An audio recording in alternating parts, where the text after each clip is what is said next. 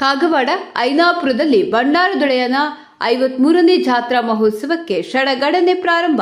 ಕಾಗವಾಡ, ಕರ್ನಾಟಕ ಹಾಗೂ ಮಹಾರಾಷ್ಟ್ರದ ಗಡಿಯಂಚಿನ ಸುಕ್ಷೇತ್ರ ಐನಾಪುರದ ಶ್ರೀ ಸಿದ್ದೇಶ್ವರ ದೇವರ ಸುವರ್ಣ ಮಹೋತ್ಸವ ಜಾತ್ರೆಗೆ ದಿನಗಣನೆ ಪ್ರಾರಂಭವಾಗಿದ್ದು, ಜನವರಿ ಹದಿನೈದು ಮಕರ ಸಂಕ್ರಮಣ ದಿನದಿಂದ ಸತತ ಐದು ದಿನಗಳವರೆಗೆ ಲಕ್ಷಾಂತರ ಭಕ್ತರ ಸಮ್ಮುಖದಲ್ಲಿ ಜಾತ್ರೆ ಜರುಗಲಿದೆ. ಈ ಐದು ದಿನಗಳವರೆಗೆ ಜಾತ್ರೆಯಲ್ಲಿ ಮಹಾಪ್ರಸಾದದ ವ್ಯವಸ್ಥೆ ಇರುತ್ತದೆ ಎಂದು ಜಾತ್ರಾ ಕಮಿಟಿಯ ಉಪಾಧ್ಯಕ್ಷ ರಾಜುಗೌಡ ಪಾಟೀಲ್ ಹೇಳಿದರು.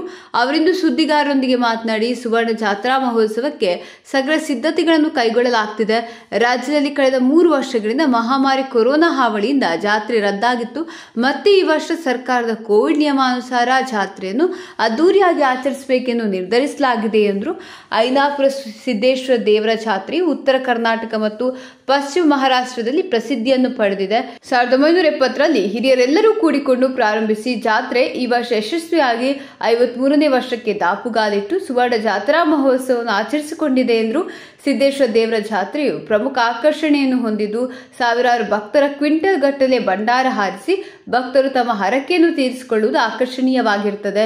ಈ ಭಂಡಾರದೊಡೆಯನ ಜಾತ್ರೆಗೆ ರಾಜ್ಯ ಹಾಗೂ ಬೇರೆ ರಾಜ್ಯಗಳಿಂದ ಲಕ್ಷಾಂತರ ಭಕ್ತರು ಪಲ್ಲಕ್ಕಿಗಳ ಭೇಟಿಯ ದೃಶ್ಯಗಳನ್ನು ನೋಡಲು ಜಮಾಯಿಸುತ್ತಾರೆ.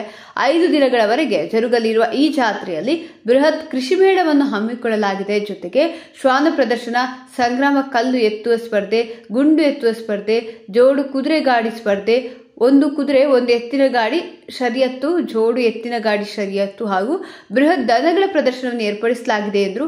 ಜನವರಿ ಹದಿನೈದರಂದು ಮುಂಜಾನೆ ಆರು ಗಂಟೆಗೆ ಜಾತ್ರಾ ಮಹೋತ್ಸವ ವಿದ್ಯುಕ್ತವಾಗಿ ಆರಂಭವಾಗಲಿದೆ. ಒಂಬತ್ತು ಗಂಟೆಗೆ ಸಿದ್ದೇಶ್ವರ ದೇವರ ಮಹಾಪೂಜೆ, ನೈವೇದ್ಯ ಹಾಗೂ ಸಂಜೆ ಐದು ಗಂಟೆಗೆ ಹನ್ನೊಂದು ಗ್ರಾಮಗಳ ಪಲ್ಲಕ್ಕಿಗಳು ಕೂಡುತ್ತವೆ ಹಾಗೂ ವೈಭವದಿಂದ ಭೇಟಿಯಾಗ್ತವೆ. ಇಲ್ಲಿ ಸಾವಿರಾರು ಭಕ್ತರು ಭಂಡಾರ ಎರಚುವ ಮೂಲಕ ತಮ್ಮ ಹರಕೆಯನ್ನು ತೀರಿಸಿಕೊಳ್ತಾರೆ. ಈ ದೇವರುಗಳ ಭೇಟಿಯನ್ನು ನೋಡಲು ಎರಡು ಕಣ್ಣುಗಳು ಸಾಲದು. ಇಂಥ ಅಪರೂಪದ ಭೇಟಿ ನಡೆಯಲಿದೆ ಎಂದರು, ನಂತರ ಪಟ್ಟಣದ ಪ್ರಮುಖ ಬೀದಿಗಳಿಂದ ಸಂಚರಿಸಲಿದೆ ಎಂದರು, ಈ ವೇಳೆ ಜಾತ್ರಾ ಕಮಿಟಿಯ ವಾರಿಗಳಾದ ಸುಭಾಷ್ ಪಾಟೀಲ್, ರಾಜಗೌಡ ಪಾಟೀಲ್, ಹರ್ಷವರ್ಧನ ಪಾಟೀಲ್, ಅವಗೊಂಡ ಒಡೆಯರ, ಸೋಮಣ್ಣ ಒಡೆಯರ, ಸುರೇಶ್ ಅಡಿಸೇರಿ ಗುರೈರಾಜ ಮಡಿವಾಳರ ಸಿದ್ದು ಅಡಿಸೇರಿ ಶಂಕರ್ ಅಡಿಸೇರಿ ಪ್ರಕಾಶ್ ಗಾಡಿಗೆರ ಅನಿಲಕುಮಾರ ಸತ್ತಿ, ಮಂಜುನಾಥ್ ಕುಚನೋರೆ, ಮಲ್ಲು ಕೋಲರ ವಿಕಾಸ್ ಜಾಧವ್, ಶಂಕರ ಕೋರ್ಬು, ಶೀತಲ್ ಬಾಲೂಜಿ, ಸಂತೋಷ್ ತೆರದಾಳೆ ಇದ್ರು, ರಾಜಗೌಡ ಪಾಟೀಲ್, ವರದಿ ಕಲ್ಲಪ್ಪ ಕನ್ನಾಳ ಅತನಿ ಕಾಗವಾಡ. ಕರ್ನಾಟಕದ ಈ ವರ್ಷ ನಮ್ಮ ರಾಮದೇವರಾದಂತ ಭಂಡಾರದೋಡಿಯ ಕರ್ನಾಟಕ ಮಹಾರಾಷ್ಟ್ರದಲ್ಲಿ ಸಾವಿರಾರು ಭಕ್ತಾದಿಗಳನ್ನು ಹೊಂದಿರತಕ್ಕಂಥ ಶ್ರೀ ಸಿದ್ದೇಶ್ವರ ದೇವರ ಐವತ್ತ್ ಮೂರನೇ ಜಾತ್ರಾ ಮಹೋತ್ಸವ ಈ ವರ್ಷ ಅತಿ ವಿಜೃಂಭಣೆಯಿಂದ ನಡೀತಾ ಇದೆ.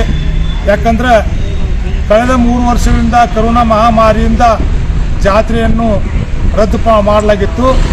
ಆದರೆ ಈ ವರ್ಷ ಜಾತ್ರಾ ಮಹೋತ್ಸವ ಅತ್ಯಂತ ವೈಭವದಿಂದ ಎಲ್ಲ ಭಕ್ತಾದಿಗಳ ಸಹಕಾರದಿಂದ, ಸಂಘ ಸಂಸ್ಥೆಗಳ ಸಹಕಾರದಿಂದ, ವಿಜೃಂಭಣೆಯಿಂದ ಜರುಗುತ್ತಾ ಇರುವುದು ಅತ್ಯಂತ ವಿಶೇಷವಾಗಿದೆ.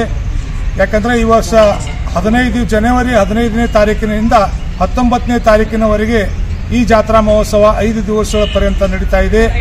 ಈ ಜಾತ್ರಾ ಮಹೋತ್ಸವದಲ್ಲಿ ತಾರೀಕು ಹದಿನೈದರಂದು ಸಾಯಂಕಾಲ ಐದು ಗಂಟೆಗೆ ಹನ್ನೊಂದು ಊರುಗಳ ದೇವರ ಪಲ್ಲಕ್ಕಿಗಳು ಆಗಮಿಸಿದ್ದು, ಶ್ರೀ ಸಿದ್ದೇಶ್ವರ ದೇವರ ಭೇಟಿಗಾಗಿ ಎಲ್ಲ ಪಲ್ಲಕ್ಕಿಗಳು ಆಗಮಿಸಿ ವೈಭವದಿಂದ ದೇವರ ಭೇಟಿ ಕಾರ್ಯಕ್ರಮ, ನದಿ ಸ್ನಾನ ಇತ್ಯಾದಿ ಧಾರ್ಮಿಕ ಕಾರ್ಯಕ್ರಮಗಳು ಆನಂದಪೂರ್ವಕವಾಗಿ ನಡೀತಾ ಇವೆ.